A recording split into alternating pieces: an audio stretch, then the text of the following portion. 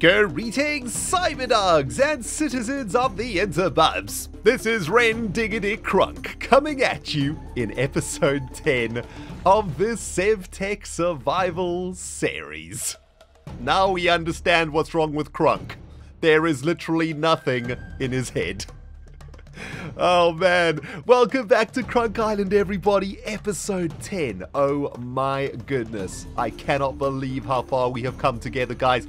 It has been one epic journey. Last episode, we made our very first TP, and now every single morning when I wake up, my feet go into the beach sand, my toes slip through the sand. I have a beautiful awakening. I come out here, I stretch, I do a bit of yoga, and then I can see the sun rising a bump above Crunktopia over there. And it is, it's glorious waking up on Crunk Island these days, guys. I'm waking up feeling like a million freaking bucks, man. Last episode, we also created a bunch of leather over here on our drying racks. And since the last episode, episode I've been spending a bunch of time making some leather. I've made another 49 leather bits over here, and that means we might be able to make ourselves our very first bit of armor here in SevTech. We'll be able to make some leather armor out of this. But there is something more important that I'd like to do with you guys on this very fine episode of SevTech, and I am sure there's a ton of, out, of you out there who are starting to get a little bit frustrated by the fact that the Rendiggity Dog has taken so long to get through this tutorial. So I thought what we could do today, guys, is settle down and actually start working on a few of these things. Let's sort of whip through a couple of these easy to finish achievements here uh, in the advancements page. And we need to get to the first age. We're currently in age zero right now, even though we've got ourselves a farm, even though we've got ourselves a crunk cave, even though we have got leather drying outside of the cave, we have yet to exit the tutorial. Speaking of awesome things, let's pick up some of these delicious potatoes and let's check in on nutrition real quick. Okay, so grain and fruit are struggling right now. Looks like fruit is taking the biggest hit. Um, good news though, on the food front, these apple trees, my goodness, they are ridiculously um, fruitful. Look how many apples I've managed to collect over here, guys. A stack and 27. I'll take the 29 apples. We'll be munching on this today, I think. That seems like a, a pretty good food source for us today. But guys, I would like for us to start cranking through some of these things. A few of them are kind of easy to achieve. So shall we settle in for a little bit of uh, SevTech achievement hunting? Also, we'll be able to make ourselves this mattress over here, or the sleeping mat. And that means we can actually start traveling in the world. Because with that sleeping mat, we can travel without worrying about the sun setting, right? Because then we can just sleep the night away. So through some of these achievements, I think we're going to do really well. And uh, on top of that, a few of these achievements actually need leather. And now that we have a ton of leather available, we can actually crank through these achievements like a nobody's business. So my dudes, uh, settle in, get yourself a tasty beverage, crunchy snack. I've got 29 apples to get through. It's time to get some achievements going over here, man. Okay, so where to begin, my friends? Why don't we start all the way at the top of the list over here? Lost but now found trade for an antique atlas map from a cartographer or librarian villager. Well, that will be pretty easy to do, although that's all the way back at the village. We'll skip that one for now. Maybe we'll come back to that one uh, at the end of the episode. How about this one? If you cannot locate certain resources from underwater, use a water strainer base and insert a strainer. Okay, so that looks like an easy one to get going with over here, guys. Let's try and remember what that strainer looks like. We made the fisherman strainer already, right? That did a great job for us catching all of that fish.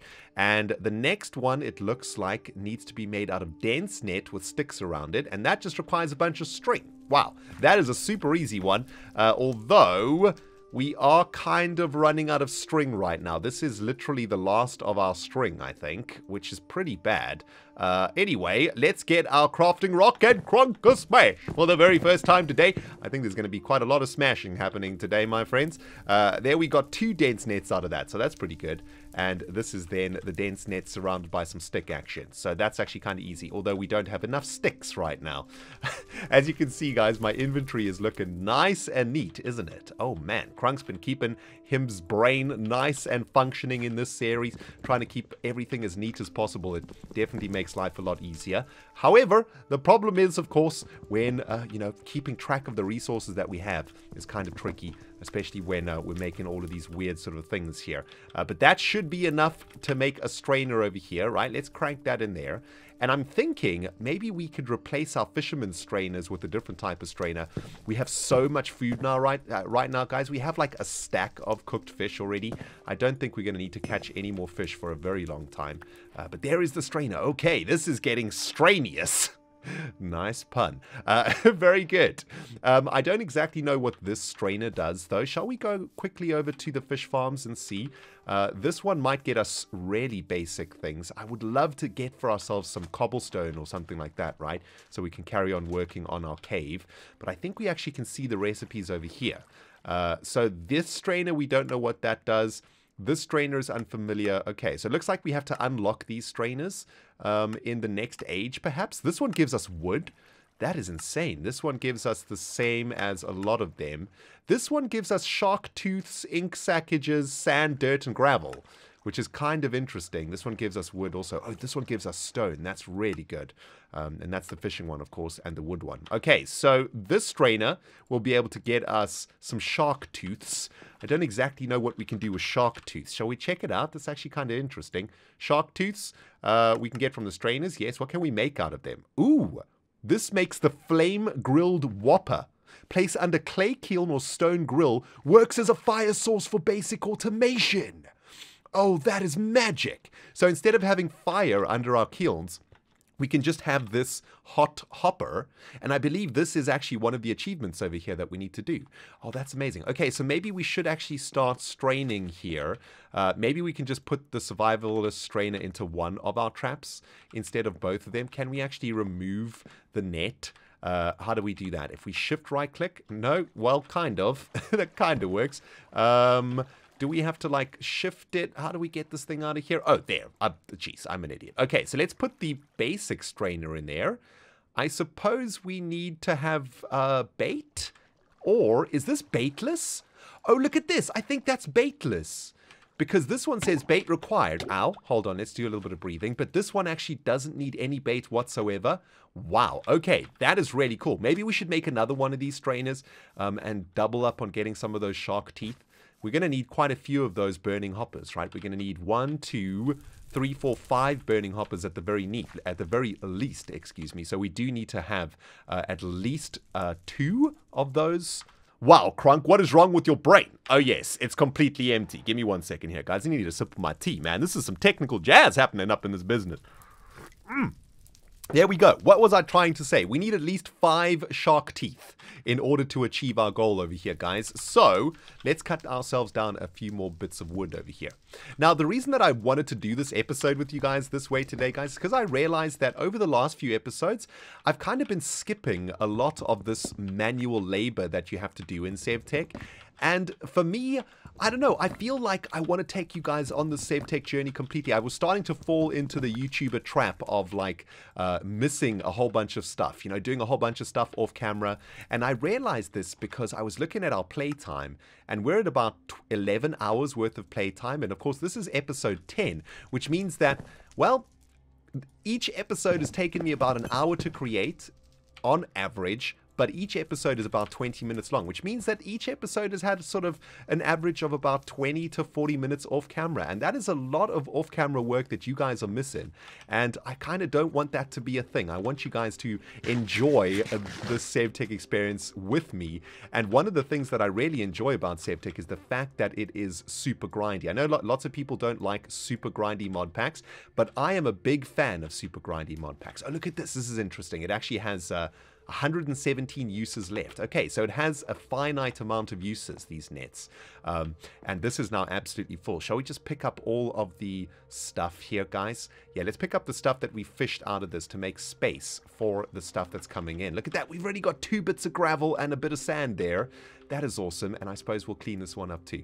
Uh, but yeah, I'm a big fan of grindy mod packs, and let me explain to you guys exactly why. I really enjoy having to work really, really hard in the beginning of a mod pack, and eventually uh, achieving automation of the production of resources, for example, right? And it just feels so amazing when you have been manually collecting stuff and manually producing food and manu- manually producing all of your stuff in a mod pack. It feels so amazing to eventually just ha- have everything automated, right? It's it, it's incredible. It, it feels like getting a degree at university or something. You know, it is an absolutely awesome feeling. But if I don't take you guys along for the grind, then you guys won't really have that feeling with me. Um, so I think the next couple of episodes we're going to spend doing a bit of the grind together. Um, I hope you're up for it, my dudes. I'm definitely ready to go for as long as we need to, guys. I love grinding a bit of modded Minecraft, man. It is super fun and really rewarding. Um, let's move on, though. We have just made the strainer. Excellent. This one is Dude, Where's My Biome? You'll need to seek out Darkland biomes to continue your journey. Oh, interesting. So this might be what we need to do to unlock the next age of Save Tech. But I have got a little bit of a plan that I see brewing over here. Over here is making a saddle. And do you guys remember all the way at the beginning of the series, we saw a really fast horse all the way back at spawn, like in a lake? It looked really fast. I reckon before we head over to that biome, right, before we head over to this Darklands biome, let's go tame that horse. Let's get ourselves a freaking horse in the series, man. And I guess to do that, we're going to need a lead and a saddle because we're going to have to drag that horse across uh, the Great Crunk Peninsula, across the river here to get him back to the island. So let's have a look. What do we need to make all of these things? I'm assuming it's just going to be leather uh, or at least some variations of it. Um, let's have a look here. Oh, hang on. Let's start with lead because that's the first thing that we need to do. String and leather cordage. All right, leather cordage requires string, and leather strippage requires leather and a flint work blade. Okay, I feel like we might be having a little bit of an issue coming up real, real soon, guys. How much cordage do we get from one bit of leather? We get nine leather strips from one uh, leather piece of leather. That's amazing. And I guess the cordage is made with string. We literally have one string left, and we do need quite a lot of string. Do we have any string in here? No, nothing whatsoever. Okay, well, this is kind of bad, guys. We are 100% out of string right now, and, well, the sun has just gone down. And the only way I know how to get string so far is by killing sheep. And this means we're going to have to do a little bit of traveling. Let's sleep the night away, though. Oh, this feels so beautiful. being able to sleep like this. Oh my goodness. Um, okay, so let's put that one aside for now. Let's have a look at the saddle. Hmm. So for the saddle, we need a bunch of leather cordage also. Uh, which means we are actually going to need quite a lot of string to proceed unless we did this one over here first. Okay, so we'll deal with the string situation in a second. Let's have a look at some of these other ones. How about this one, the sleeping mat? That seems like a good one. If we have to go out to find string, it's probably a good idea that we have a sleeping mat. For that, we need leather, which we, which we have ample amounts of, which is awesome. Hello, squid butt. Uh, but we also need thatch thin slabs. How do we do this? Manual chopping block. Uh, we have to chop down thatch, it looks like it. And to make thatch, we need dry thatching, right? And then you compress the thatching into like thatch. To make dry thatching, we need uh, dry thatching? How do we make dry thatching? I'm confused. Dry thatching. Wet thatch is made out of fresh thatching. Okay. Fresh thatching is made. Okay, here we go. It's made out of rush tips and blooming rush tips. Okay. I think I'm starting to pick up what Save SaveTech is putting down over here, right? So what we're going to do is we're going to find a whole bunch of these rush tips. Then we're going to compress them into like a block of rush tips, I suppose, right? And then we're going to cook them, I suppose, and dry them out and then chop them. I'm just trying to think about this intuitively. I think this is actually the stuff that we need. I saw this on the island uh, a few days ago. This looks about right. Uh, what is this jazz anyway? Now, I'm assuming if we break these, we won't be able to plant them again. Let's just have a look. We might want to start planting some of these if it is actually plantable. I'm hoping that these things function like sugarcane. No, they don't. Okay, so we don't want to break all of these things. I think what we probably want to do here is just break off the tips of them or the tops of them and I'm guessing that they're going to grow a little bit like sugarcane. Well, I'm hoping they're going to grow like sugarcane. And uh, we, we have a source of this on Crunk Island, which is actually kind of good to know. If they grow back, it's unclear at this present moment in time. We'll come back and check uh, in like an episode or two's time, right? Just to confirm whether this is how we can get the stuff. But that should probably be enough. I guess. I think it was only, what, four of these things to make a wet thatch block. Let's just collect a few more of this. Let's have a look. So if we cram these together, there we go. We're going to make fresh thatching. Excellent. And we can do that with the, these ones also. And then I can you combine them? Can you do them like this? Yes, you can. Okay, awesome. Um, so that's 20 bits of wet thatch. I'm assuming we stick the wet thatch into... Uh, oh, I think what we do now is we compress the wet, that, wet thatch into a block, right? It's like this, fresh thatching. Yes, there we go. Oh, nice. Okay, so wet thatching has been made. Now I think we're sticking the wet thatching into the kilns, right? We've got to dry it out. We've got to get all that moisture out of the thatching. Let's have a look if that's going to work. The kiln has accepted them. And, uh, well, we get to munch on some apples also. I guess the good thing about uh, fruit nutrition is that the saturation is really low. So you get to eat a lot of fruit when you're on the fruit mission. Uh, but, man, we have got full, almost full freaking nourishment here, man. This is so awesome.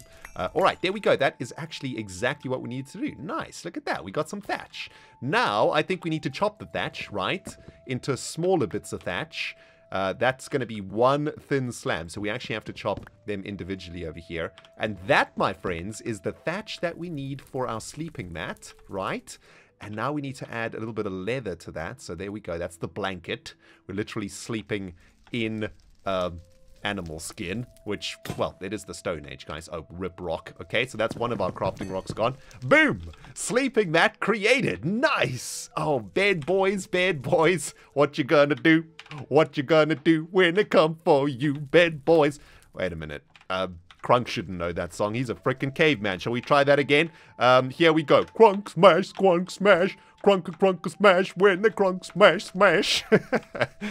oh God, I'm an idiot. Um, Excellent. We got the bed boys, bed boys. The sleeping mat will allow you to sleep on the go. That's exactly what we need if we're going to go get ourselves some string. Perfect, guys. Absolutely perfect. Um, I suppose now we can do the lost but now found um, trade with the librarian. Well, at least we can figure out what the librarian wants to trade with us, right? I don't know what his trade is going to be, but we do need to go get ourselves a bunch of string.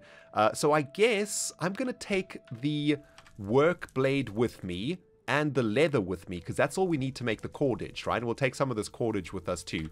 And I guess if we want to complete those advancements in the field, so to speak, we should make ourselves another uh, work stump, right? So let's just make another work stump real quick and then we'll take a crafting rock with us. And that should allow us to create everything that we need when we find them sheeps. And I think there is like a massive herd of sheeps just outside of the village. We got our sleeping mat too, and we got our sharpened bone. That is all a crunk needs. We need a spare crafting rock over here also. Okay, nice. Let's head up, guys. Let's get onto our freaking raft, head back to the village, and see if we can complete a couple more achievements today. How much stuff are we getting out of these things? I mean, it's not like the quickest way to get resources, but it is free and it is passive and we don't have to feed it, which is really cool. And we'll be getting about 200 free blocks, free resources out of that, right? So, I mean, I can't complain too much about that. It's pretty awesome. Um, but yeah, there's one of our rafts. Let's head back to the village, guys. we'll go check up on the skeleton bones also, just make sure that they're still there. And yeah, we still have a ridiculous amount of bone meal, bone meal available to us if we need. And I guess we can keep our eyeballs open here, scout for any sheeps along the way. Um, I think that there might be a plant also that we can find in SevTech. It's like a cotton plant that I think we can create string from. I haven't seen them yet though but that would be really, really helpful. If we can actually produce cotton, if we can just produce skin, uh, skin, string somehow, right? That would actually be really helpful. Maybe that's something that we should aim for. But uh, yeah, I'm not seeing any of those plants anywhere around here. Although this is like a massive supply of reeds here, right? Look at that. Oh, now that we know what we need for all of that thatching, um, it's very easy to see it. Maybe maybe we can use some of that thatching to make like an outdoor house or something, right? Like one of our very first outdoor houses could have like a, a beautiful thatch roof. That could be awesome. Uh, where is that sun anyway? I think we're at midday right now, so we should be okay. Um, but yeah, I think the last time I came here, I stopped off on this shore and I think there might have been a couple of sheep just up here. Yes, there they are. Hello, sheep. I am very sorry about this, uh, sheeps, but I am going to need a little bit of your, your fur. I, I am sorry. Um, yeah, I, I know you're panicking, my dude. Uh, listen, it's it's gonna be quick, okay? You won't feel anything I, I'm able to take you out in one hit. It's it's kind of like a you know just boom. One day you're here, and then the next day you're gone. It's just how it has to be, guys. I'm I'm really sorry. Okay, I do feel bad about it. I apologize. Um, and well, you guys will meet again in sheep heaven, I'm sure. And your sacrifice will not go in vain. Okay. Every little bit of your body I will be using. I will be eating your meat. I will be making your pelt into leather, and I will be using your fur to make string. So don't, please don't feel like it is a waste of sheep life. Sheep. I'm not sure if I'm talking to the sheep or talking to the sheep lovers out there, but I guess I'm talking to both. okay, so that's six white fleece. That should probably be more than enough. We can actually make string using the, the work blade over here, right? Like we cut that fleece up into strips of string. And uh, you know what? It's a really hot day here on the plains. Let's chill underneath this tree and uh, we can set up a little bit of a workstation over here. The rest of you sheep, you are fine. You have been saved by the fact that your other sheepish brethren were extremely furry. oh man. Okay, so guys, let's work on that lead. Uh, I think I actually remember the recipe. It's kind of simple, right? It was some leather cordage with a bit of string in the middle. And that should, uh, if we crunk smash up in here, crunk a smash, a smash, a smash. There we go.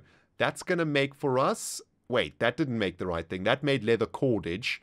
And for that, yeah, that's right we did need the leather cordage, right? I knew that was a part of the recipe. The cordage is in the center, and then I guess we like wrap it or something. Um, I'm trying to like intu intuitively see how these recipes work, but every now and then the recipe doesn't quite make sense. but there we go. We made a lead. Nice. Oh, that is absolutely awesome. Let's get some more apples in the belly here, though. Um, so that's one more achievement done today, guys. Oh my goodness. Look how many extra hearts we have not right now. We have five extra hearts. That's pretty insane. Uh, did that unlock anything? Oh, the wheels on the bus. That is awesome. We can craft horse carts. Okay, let's not get ahead of ourselves here, guys. Let's take this one step at a time.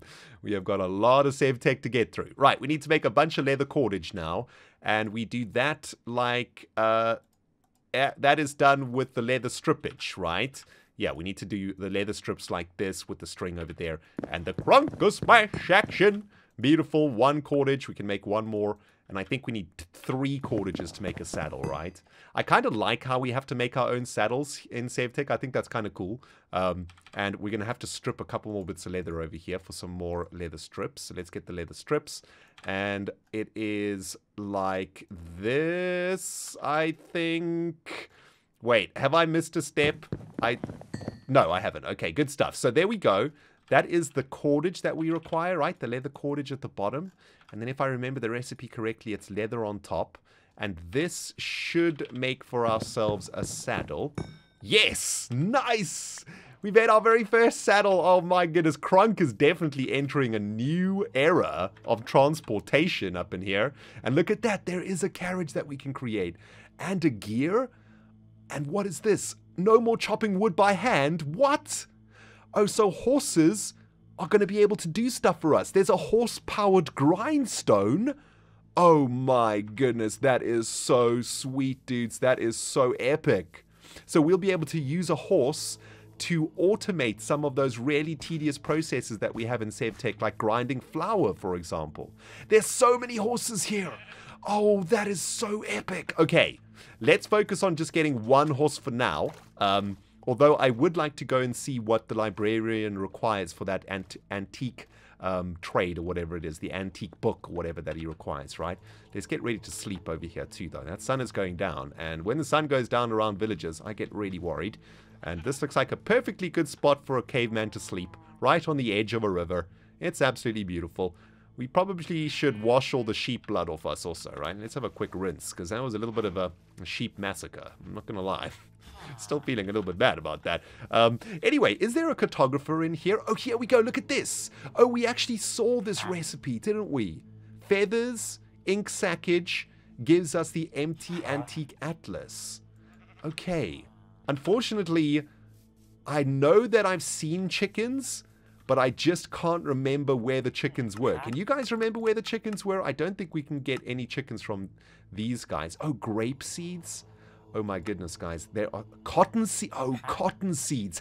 Hold the freaking phone. We have got some baked potatoes. He will give us cotton seeds. The source of all string and wool. Dudes, I just I just nailed it. I didn't even realize that that was even possible. That is epic. Nice. We just sorted out our string and our wool situation. And maybe we can replant uh, the cotton instead of the barley, maybe, because barley and grain basically do exactly the same thing at our farm. So maybe we can start growing cotton instead of barley, and that is going to add a really useful um, crop to the Crunk Cropolis. I mean, the Crunk agriculture empire. Wow, these are a lot of sheep over here. Sheep, you are all safe. Crunk just learned to grow cotton. Crunk grow cotton. Crunk go grow cotton. man, Crunk is learning a lot today, guys. I'm I'm super proud of him. Oh man, nostalgia's kicking in, guys. I recognize this area. This is where we started the series 10 hours ago. It's absolutely gorgeous out here, isn't it? It's nice to be back. Uh, I kind of want to go and tr and tr try and tame that horse, though for the last part of today's episode, having a look at, at my watch here. We're kind of running out of time.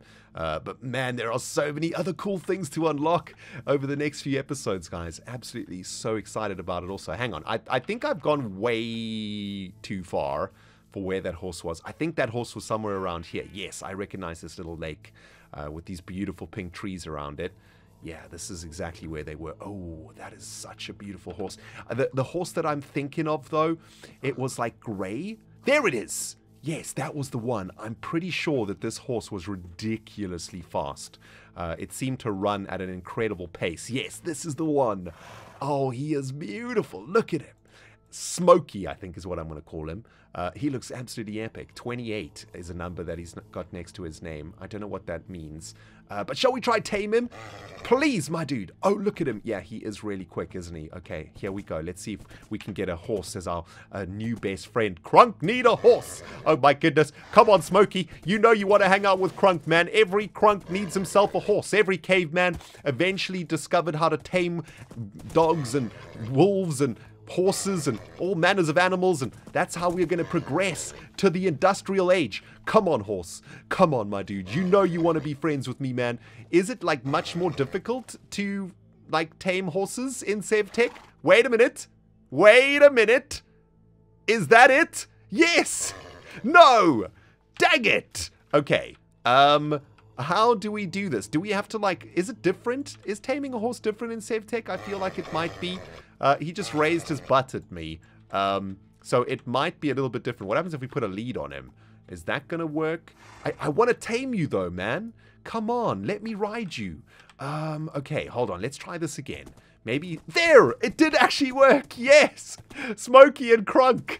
Friends forever! Oh, man! This is awesome, guys. We just got ourselves an epic equestrian steed. His name is Smokey. We've got our saddle. Let's see how quick he is. Oh my goodness. Yeah, he flies. He absolutely flies. Look at the speed.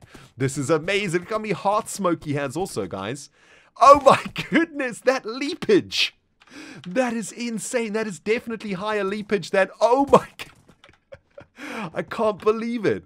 Look how high he can jump. That is definitely higher than in vanilla Minecraft, right guys? That feels like four blocks or something. That is amazing. We got ourselves our very first horse, guys. This is just the best. This might be better to use Smokey to travel than a raft, actually, uh, if we can drag Smokey across the Crunk Peninsula. And Smokey is to be put to work on Crunk Island, man. We got lots of automation to do with this beautiful equestrian buddy of ours. Uh, I guess next step is to get him home, though, and that might be a little bit of a task. But guys, we run out of time for today's episode. Uh, I hope you have enjoyed it, though, man, and I cannot wait to see you in the next one. Smokey and I, we're going to go on some adventures together. It is going to be epic. My dudes, Crunk, Rendog, and Smokey. Sign it out. We'll see you in the next episode.